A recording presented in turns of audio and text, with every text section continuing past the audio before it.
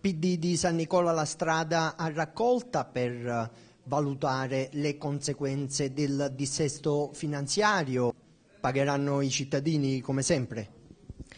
Purtroppo sì, questo è un comune che è arrivato addirittura al dissesto, è sempre una cosa molto grave quando un comune arriva al dissesto proprio perché sono i cittadini a pagare. La conseguenza eh, del dissesto non è l'unica conseguenza, ma sicuramente la conseguenza più grave è che tutte le aliquote schizzano al massimo e quindi gli errori, i disastri, gli sbagli che hanno commesso gli amministratori pubblici ricadono sulle spalle dei cittadini. Questo è l'aspetto più preoccupante, anche l'aspetto più amaro.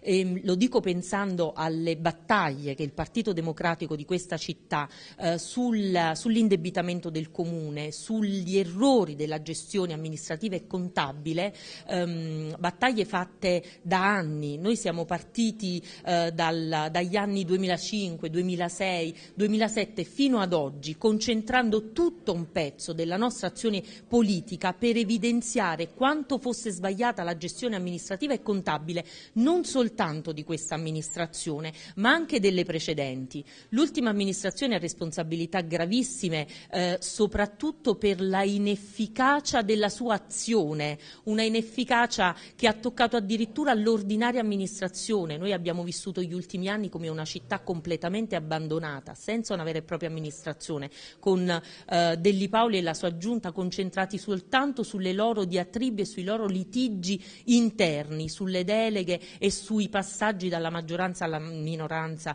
che si sono avuti, ma è chiaro che non è stata semplicemente l'amministrazione di Delli Paoli a portare questa città al dissesto finanziario. I problemi cominciano da prima, cominciano con le amministrazioni precedenti, govern quelle governate da Pascariello, dalle sue liste civiche e dalle forze politiche di centrodestra. Già nel 2007 noi alzavamo la voce per dire che questo era un comune troppo indebitato e volevamo fare chiarezza su questo, sui mutui, sui debiti, sulle anticipazioni di cassa, ma siamo stati naturalmente inascoltati. E ehm, io comprendo che la materia del bilancio, la materia dei mutui, dell'indebitamento, delle anticipazioni di, di cassa è una materia ostica, fatta più per i tecnici e i politici che per i cittadini. E però sono temi così importanti perché, come si sta dimostrando adesso, si ripercuotono poi sulla vita delle persone in carne ed ossa, e cioè sui cittadini sannicolesi che oggi si trovano a pagare le responsabilità gravi di chi non ha saputo governare e gestire questa città.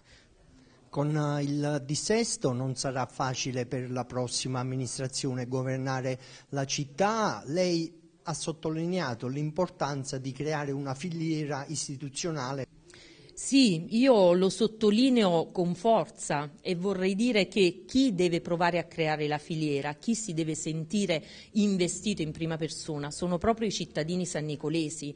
Noi ehm, ci troviamo di fronte ad un dissesto finanziario e di fronte ai responsabili di questo dissesto, cioè gli amministratori che hanno mal governato questa città.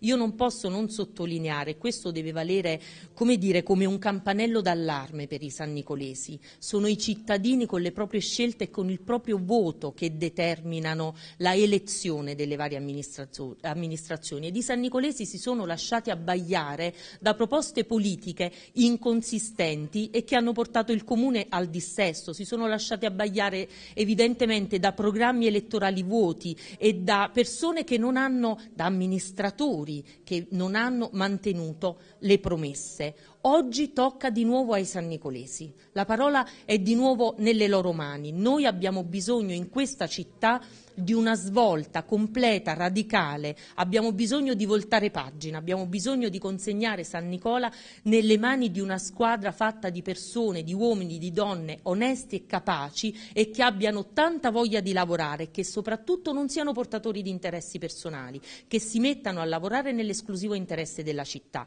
E vengo alla domanda perché sarà molto difficile amministrare una città in dissesto finanziario, un comune che per gran parte è commissariato, perché tutta la parte contabile di questo comuno, comune è commissariata e gestita dai commissari che saranno nominati in conseguenza del dissesto. E quindi la futura amministrazione avrà una grande difficoltà a trovare le risorse per rendere questa città vivibile come essa merita. E naturalmente per fare questo noi non potremo fare ricorso alle risorse comunali, perché queste risorse semplicemente non ci sono, sono state sperperate negli anni e dovremo anzi fare fronte ai debiti che si sono accumulati. C'è una strada diversa da seguire, è una strada complicata che richiede tanto impegno, che richiede tanto sforzo, ma è quella di creare una filiera istituzionale forte, solida, che porti San Nicola al di fuori dei suoi confini, anche sul piano amministrativo e politico